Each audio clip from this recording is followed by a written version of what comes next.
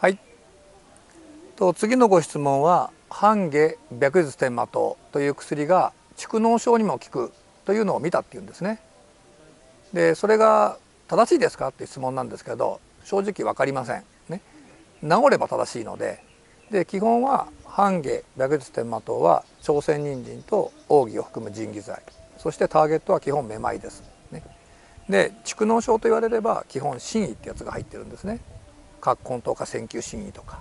心意聖杯糖とか。ただそれはそれがファーストチョイスなんだって漢方って基本体を治します、ね、体がだんだん元気になっていくとそれこそいろんな症状が良くなるんですよ。ある意味治っちゃうんですね。その一部として特に半下白術天麻糖っていうのは腎義剤ですから朝鮮人参と奥義が入って気長に体質を変えるってなイメージなんで極論すれば何でも治る可能性があります。だから半下ベクステンマトを飲んだことによってある症状が治ったっていうのは全く不思議ではないんですね。で蓄膿症は特に耳鼻咽効果的な疾患の薬ですから半下ベクステンマトめまいとかね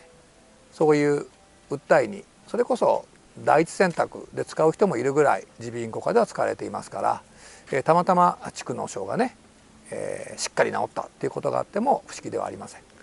こんな漢方の不思議な魅力是非あの自分が思ってもないことに聞いたり効能効果に書いてないことに聞いたりそういうことをぜひ体感してもらうと、えー、漢方の幅が広がるんじゃないかと思っています。是非いろいろ試してみてください。